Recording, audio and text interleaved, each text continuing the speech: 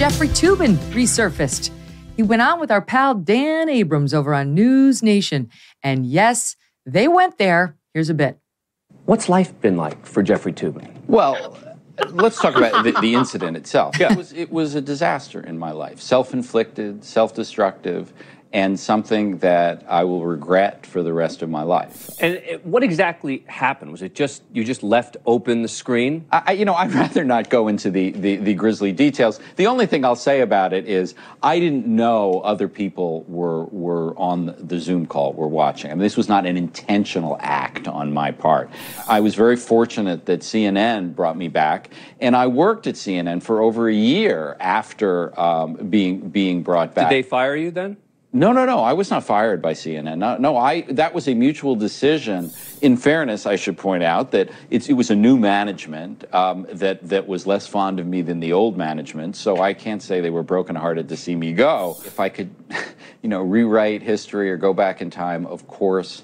I would not um, want to have brought this on myself and, more importantly, on my family. As we used to say in school, uh, this is on my permanent record. Oh my God self inflicted. That's one way of putting it. that Chiron was awesome. It was like Jeffrey Toobin on being the butt of jokes. what, what I what I can't get about this, Megyn is it, aren't there other people out there that can do legal commentary? like, why is it that the entire news media is so desperate to rehab this man's career? Like, does he have some knowledge nobody else has about the legal system? I feel like there's a lot of lawyers in America. It's so true. Might want to hear Kim Kardashian's take on it before I listen to Jeffrey Toobin's. She's it's so funny because like nothing to see here. Ha ha ha, all is normal. You know, I did something. It's been a couple years now. The, he's really kind of brushing by the grisly details because he whipped out his unit on a Zoom call with all of his colleagues at the New Yorker magazine while they were doing election coverage prep and jerked off in front of the eyes of all the women and men with whom he worked. And now he wants to pretend like, well, I didn't know they were watching. What man who, who clearly hasn't logged off right, 25 times and closed the laptop would ever think about taking out his penis and jerking off? I'm sorry, there's something wrong. It's not a small detail. I, I, mean, really, what can be said? Honestly, he's, he, he's written he, he's written multiple books. He's been like for on TV for decades. Did he not save enough money that he can be like, man, I'm going to crawl under a rock and never be seen in public again? I mean, I, just, I have no idea why books. he'd want to want to be on TV. Again. I just gotta say, like, like we're news junkies and we love politics. I've worked a lot of elections. I've gone through a lot of election night, you know, um, coverage. I've never been aroused by it and I do this professionally, I have no idea what it would cause. The, I mean, to be lubing with Toobin talking about, you know, what you're going to be doing on election night. It's just insane. It's not like a turn Dan, on. I like Dan Abrams' question. Like the foul was, would you just leave your screen on or what would happen there? it's like, you know, common thing. You just just got to turn your screen off, you know. Who exactly in the Zoom were you looking at when you were massaging your unit?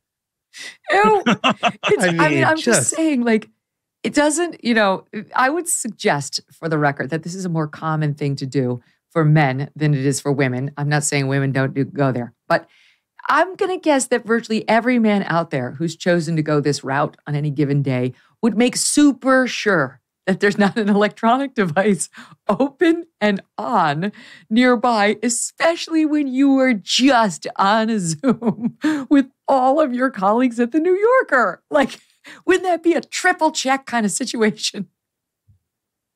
I just I, I want to know like what is his home life situation where he feels like the best time to squeeze this in is during the zoom with your employer like it's like like do you live in a panopticon time. where you're monitored at all times like just like i don't get it i always wanted to grow my own vegetable garden now i have a lomi and it's changed the way i think about food waste lomi transforms my garbage into gold at the push of a button Lomi's a countertop electric composter that turns food scraps into dirt in under four hours. Now, I love composting. I didn't used to think I could do it. Plus, it's made cooking at home fun for me and the whole family. There's no food sitting there stinking up my garbage or my kitchen. And thanks to Lomi, I have to take the trash out far fewer times each week. You can turn your waste into nutrient rich dirt too, that you can feed to your plants or your lawn or your garden.